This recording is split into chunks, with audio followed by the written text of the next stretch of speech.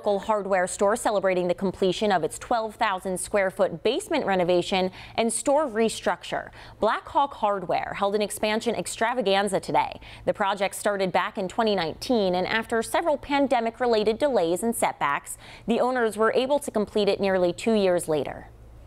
If you haven't been here uh, since COVID started, you're going to find a completely new store, an improved store in every single way.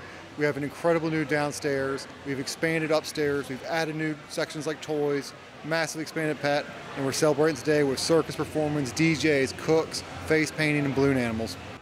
It really is a staple in the community, and it is in the Park Road Shopping Center here in Charlotte, if you didn't know.